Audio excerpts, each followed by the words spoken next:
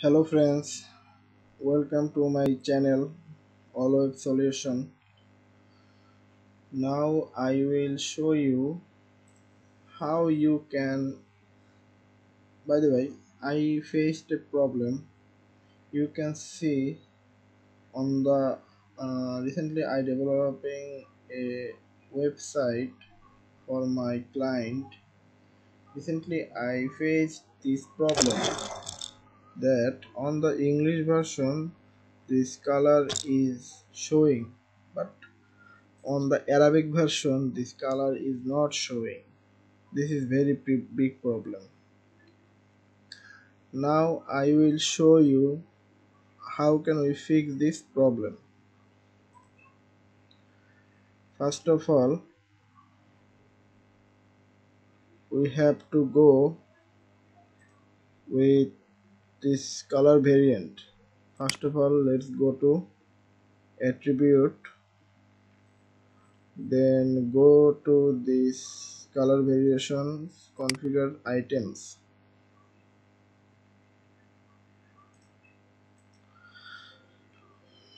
Now um, we have to translate these colors with Arabic version one by one.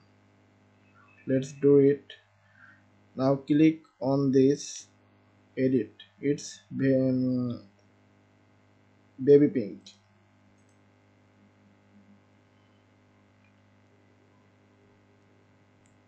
you can see this is color this is baby color. On the English version this color is showing. On the Arabic version we have to select this image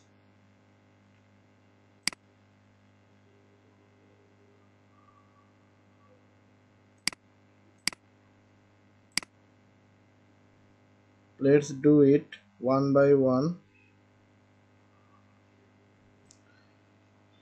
I just took a break. I did it one by one. Arabic version this is Arabic version. This is Arabic version also. This is Arabic version. This too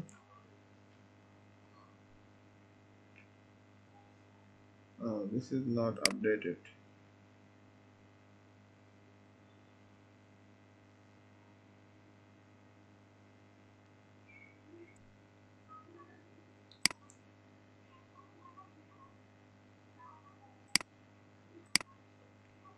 let's update it.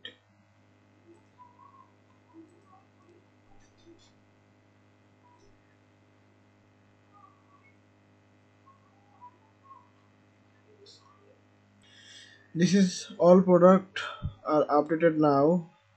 Now let's refresh this page hope everything will be good.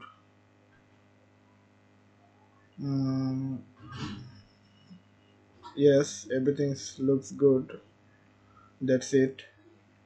If you like my video then please subscribe my channel and press the bell icon for the recent video.